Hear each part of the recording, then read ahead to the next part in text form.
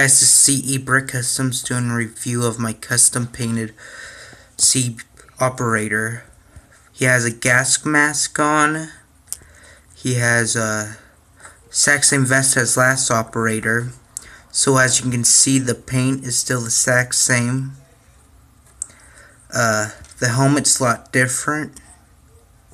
And each of these guys will be seen in a future mock Let me show you guys the gun and that's pretty much it. So as you can see the gun part, like the frame part about it, is painted tan and the clip, the sight, the grip bars in the back that makes the gun stable is tan, um, gray.